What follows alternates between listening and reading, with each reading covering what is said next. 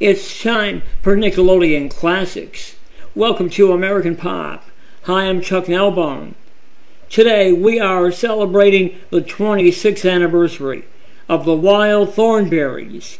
The show premiered on Nickelodeon September 1st, 1998. It was on for five seasons. The show followed the adventures of a young girl named Eliza who had the secret gift of communicating with animals.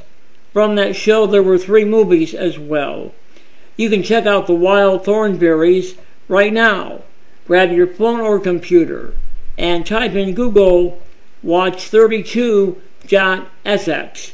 When you're on the website, type in The Wild Thornberrys. You got American Pop.